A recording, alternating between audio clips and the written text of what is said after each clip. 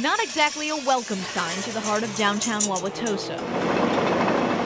Construction crews are set up in the village along State Street for a five month, $5.2 million streetscape project. Check out the before and what it'll look like after. There'll be a plaza, which is one of the one of the first in the area, but single level to promote pedestrian activity, kind of that European feel.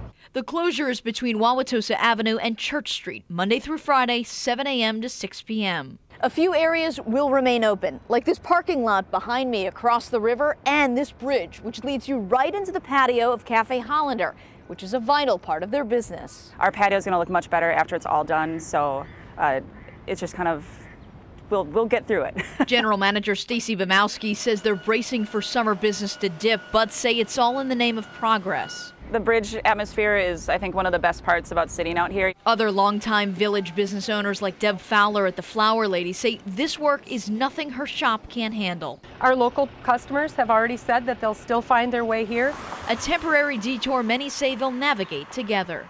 In Wauwatosa, Hillary Mintz, WISN 12 News.